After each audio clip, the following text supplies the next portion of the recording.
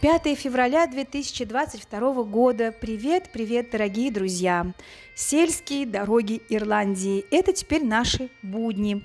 Рафаил, как вы знаете, купил велосипед и теперь на велосипеде обследует все окрестные территории, строит новые маршруты, изучает все для того, чтобы делать для вас видеоэкскурсии на нашем сайте Топос. Ну и, конечно, снимает материал для блога здесь, на YouTube. Рядом с нами находится очень много исторических мест. В Ирландии переплетаются удивительным образом горы, древние и современные герои и святые. Вот об этом и будет сегодня наш рассказ. В соседнем от нас графстве Арма есть древний монастырь, монастырь известнейшей ирландской святой преподобной Монины. Вот туда мы и отправимся с вами сегодня и немножко узнаем о горах, героях и наших ирландских святых.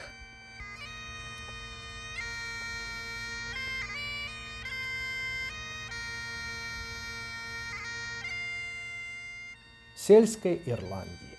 Примерно какие-то 10 километров от города Ньюри я отправляюсь в путь. Вот действительно на велосипеде это самый лучший способ ознакомиться с этими местами, когда едешь на машине, слишком быстро, иногда не всегда можешь парковаться, останавливаться, а вот действительно вот использование велосипеда для меня это способствует более быстро ознакомлению с местом. Вот мы сейчас, это городок э, Кемлох, вот недалеко от озера, у подножия горы Кемлох.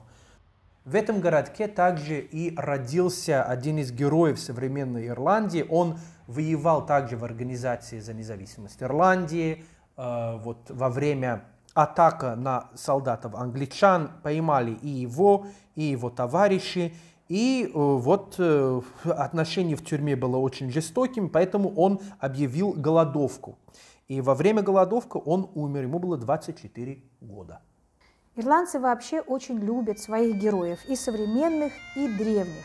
И места, по которым сегодня мы с вами путешествуем, как раз связаны с именем самого известного древнего мифологического ирландского героя. Имя его Кухулин. Вообще-то юношу звали Ситанта. Был он полубогом, получеловеком. И был он невероятно сильным и мужественным. И вот однажды царь как раз-таки этой местности, которого звали Кулан, пригласил его на пир. Юноша немного опоздал, а царь задумал хитрую ловушку – он выпустил своего свирепого волкодава, огромного пса, который и встретил юношу у ворот. Недолго думая, Сетанта взял прощу и, как когда-то Давид убил Голиафа, запустил камнем в глотку этому псу. псу. Пес сдох, а царь очень опечалился. Это был его любимый пес. Когда Сетанта понял, что он сделал, и увидел непритворное горе царя, он сказал, «О, царь, прости, что я так поступил, я защищал свою жизнь, давай я буду теперь служить тебе вместо этого пса, пока не вырастет новый щенок. И вот так он получил свое прозвище Кухулин, что означает пес Кулана. И Кухулин действительно это образ и национального достоинства, и мужского достоинства, и также возрождение Ирландии как независимой страны также связано с Кухолином.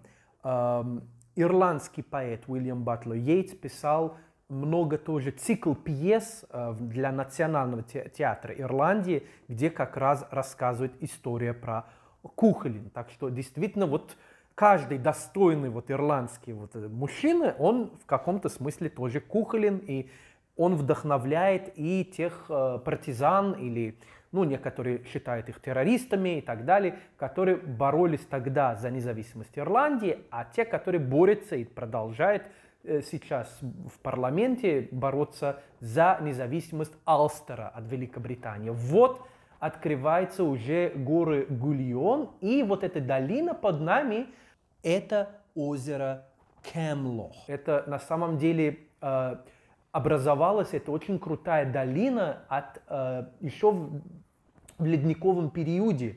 И когда лед стал таять, вот образовалась вот эта очень большая трещина. Э, как ни странно, но вот эта вот погода и эти горы мне немножко напоминают э, зимнего Галилея, никак не летнего Галилея, но зимой, когда ты, например, э, также на велосипеде около горы Фавор, эм, очень похожее настроение, даже вдруг как-то на Галилейском озере э, похоже, только чище немножко. Вода в озере чистая. Мы знаем уже, что в этом озере местные летом купаются, многие ловят рыбу. Рафаил говорил, что потрогал воду, она не такая была холодная, и он говорит, если бы у меня с собой было все необходимое, даже нырнул бы. Но в Ирландии э, действительно местные купаются, некоторые прямо круглый год, но, конечно, все-таки для этого нужна закалка. Вода объективно все-таки холодная, к ней нужно привыкать. Да еще и погода меняется моментально. Смены пейзажа, то солнце, то радуга, то вдруг неожиданно дождь, тучи, туман, даже град кратковременный какой-то. Это буквально вот все происходит на твоих глазах в течение там нескольких часов. И, конечно же, весь этот пейзаж, вот все вот эти горы, поля, деревья, вот это даже серое северное небо навевает такой эпический, героический, аскетический дух. И это не просто фантазия или какие-то игра воображения, да, действительно в этих горах подвязалось очень много подвижников. Ирландия первого тысячелетия – это центр монашества, это центр учености, это действительно родина более 500 подвижников, которые были известны и почитаемы во всем мире, но успешно были забыты к нашему времени, и даже многие православные, живущие даже здесь, да, ничего о них толком не знают. Но есть, слава богу, немало гидов местных, англоязычных, которые стараются этот пробел заполнить и вводят специальные даже группы, рассказывают, но э, не так много людей действительно вот в этой теме, скажем так. Ну, наверное, это происходит от того, что большинство православных здесь все-таки это, конечно, иммигранты из разных стран. Местных православных довольно мало. А вот местные католики и протестанты, ирландцы, конечно, своих святых знают и почитают, и мы с вами сегодня даже немножко в этом убедимся. Конечно, это рай, настоящий рай для велосипедистов. Дороги очень удобные, более удобные, кстати, чем городские – очень гладкое такое шоссе. Можно иногда даже оставлять велосипед в сторону, привязать, конечно, вот у меня ключи с собой, и прогуляться э, вдоль озера, то, что я и делал. Очень хотелось искупаться, но у меня просто ничего с собой не было, э, и просто не хотелось потом кататься мокрым на велосипеде. Но, тем не менее, вот можно видеть эти камни, вот можно представить себе даже, что какие-то ирландские феи или русалки там иногда сидят. Нет, не переживайте, я потом домой вернулся все-таки к своими, хоть есть очень много рассказов, где рассказывают, что какой-то пастух пас свои козы, и вот там э, какая-то утонувшаяся там красавица или там фея как бы уловила его, и все, он попал как бы вот в другое царство. Да, существует в Ирландии представление о разных параллельных мирах, и это ощущается здесь, и когда ходишь, и когда катаешься. Вот, по сути дела, гора Гульон. Я продолжаю маршрут в сторону юга, да, от э, озера, скоро прощаюсь уже с этим озером, и отправляюсь уже на территорию места, которое называется Килови. Как раз Килови это и есть то место, где святая Мунина основала э, монастырь Э, в пятом веке, прямо у подножия горы Галион.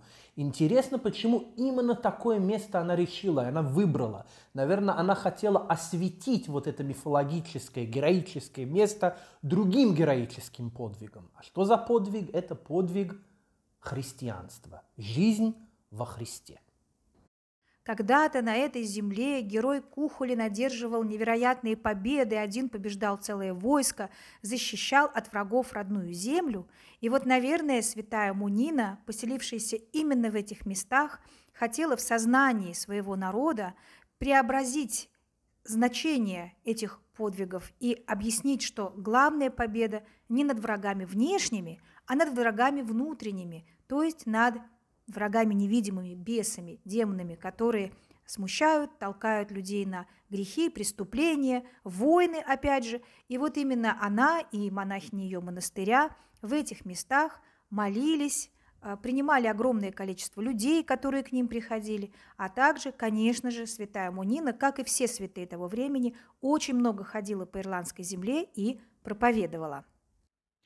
Монастырь Святой Манина – это, в принципе, один из самых древних и важных монастырей Ирландии вообще, не только как территория Арма э, или э, Северной Ирландии. Это один из самых-самых аутентичных Э, места монашества, для монашества в периоде первого тысячелетия.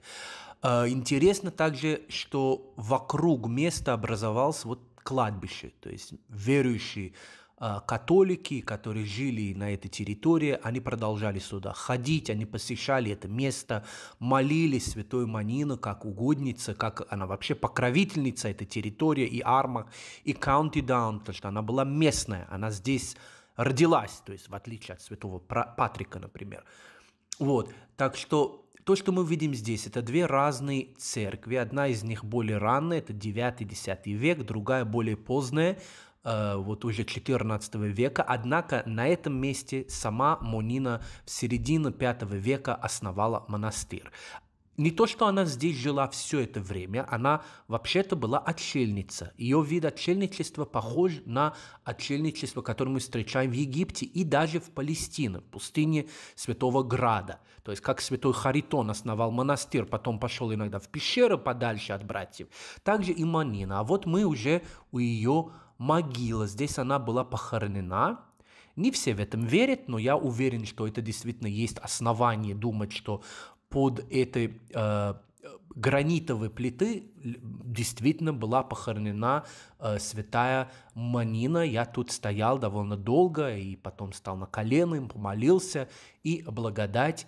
была очень ощутима, вот это утешение, которое чувствуешь в местах Христовых.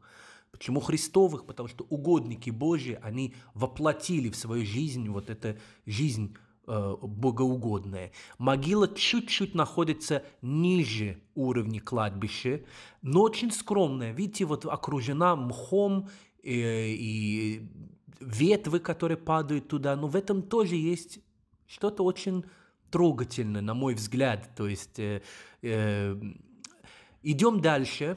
Э, недалеко от э, монастыря есть дорога, которая ведет нас уже в самом слив Гульон. То есть на небольшом холме, который возвышается над монастырем, э, есть э, источник, это древний источник, который существовал даже в дохристианских времен, то есть, получается, здесь молились и ирландцы, язычники, но это уже место освящено уже присутствием святой Манина. Также здесь есть дерево, которое, вот есть такой обычай у ирландцев, они паломники ходят всю эту дорогу. Дорога, кстати, довольно скользкая и нелегкая, да, э, особенно зимой.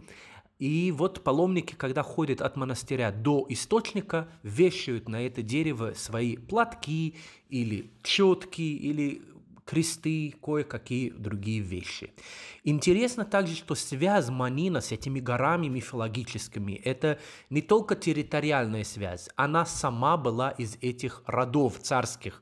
Ее отец был царь э, э, Мхата, это территория, которая как бы была здесь. Вот как раз источник, он был вот этот памятник над источником был построен в 1929 году. И вот я иду, подхожу к воде, вода замечательная, конечно. Местные жители рассказывают, что эта вода помогает от болезней глаз и проблем со зрением. Древние ирландские монастыри – это удивительные точки. Хотя нету здесь сейчас монахов, в XVI веке этот монастырь, как и все другие, был уничтожен английской реформацией, но тем не менее, здесь особо сильно чувствуется вот этот синтез между землей и небом, водой, камнями, воздухом, деревьями, древними историями и преданиями о героях, о подвижниках, которые здесь жили. Ощущается намоленность этого места. И в этом смысле действительно ирландская земля уникальна и ждет еще многих и многих открытий. Мы надеемся, что мы сможем выходить в эфир как можно чаще. Рафаил готовит сейчас экскурсию к монастырю Святой Манины для Топоса. Не забывайте, что наши экскурсии, полноценные экскурсии и по Святой Земле, и по Ирландии можно смотреть на сайте Клуб путешествий Топос. Ссылочка есть под каждым видео на YouTube. Друзья, до скорых встреч. Мы благодарим вас за внимание. Если видео понравилось, не забудьте, пожалуйста, поставить лайк и поделиться этим видео с вашими друзьями. До свидания.